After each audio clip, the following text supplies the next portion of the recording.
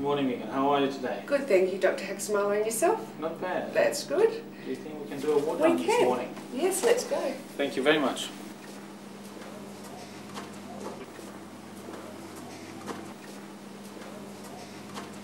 Feeling good? Feeling very well, thanks, Doctor. Hey. Yeah. Excellent, excellent.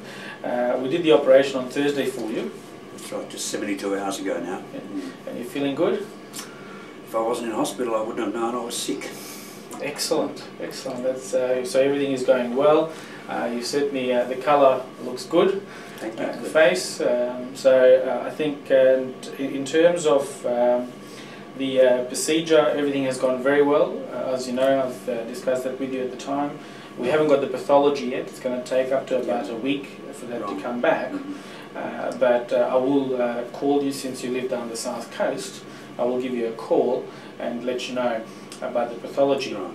Now, in regards to uh, the immediate plan, is it looks like uh, you've been eating and drinking and everything is, Yes, is good, Back to normal. back to normal. Mm. Uh, what we'll do is uh, we'll talk to you about uh, catheter education.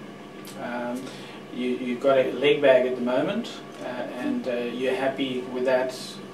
Uh, Oh, well, how to it's- manage the leg Yes, bag. it's, it's inconvenient, but that's something I live with for, uh, for a week or, or more, that's all, yes. Yes. And we've already organised for you to have the cystogram done, and Yes. at the time they will take the catheter out for you. Now, in terms of the catheter, I think it's important to know one thing. Sometimes you will experience a bit of leakage uh, from the catheter, and the reason for that is because you can get sometimes bladder spasms.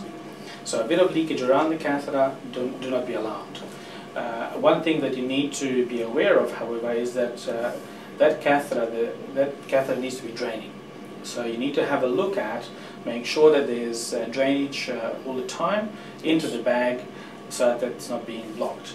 And if the catheter does block, you need to let us know. So you ring the hospital uh, so that you know we can take actions straight away and make sure that you know that does not cause any damage to the anastomosis that we've done uh, for you. Okay, yep.